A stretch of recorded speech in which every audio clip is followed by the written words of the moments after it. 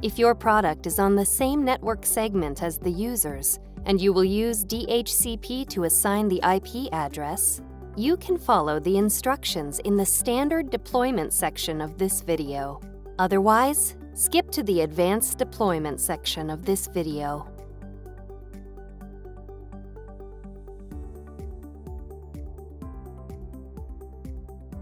After you connect your product to the network, visit the Epson support site, then download and run your product's software package.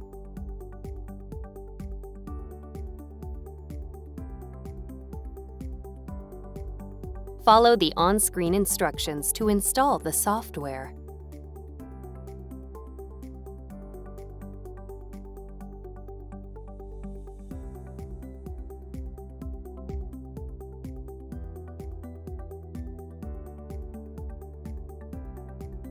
When you see this screen, select your printer from the list and click Next.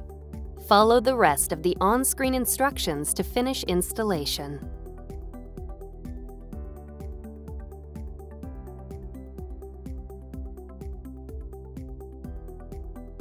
First, assign a static IP address to the product. After you connect your product to the network, select Settings General Settings, Network Settings, Advanced, and TCP IP. Set Obtain IP address to Manual. Select the IP address field and enter the static IP address you want to use. Set the subnet mask, default gateway, and DNS settings as needed. Select Start Setup Visit the Epson support site, then download and run your product's software package. Follow the on-screen instructions to install the software.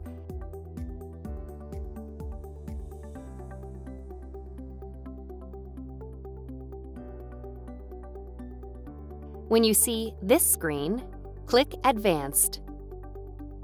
Enter your product's IP address and click Next. Follow the rest of the on-screen instructions to finish installation.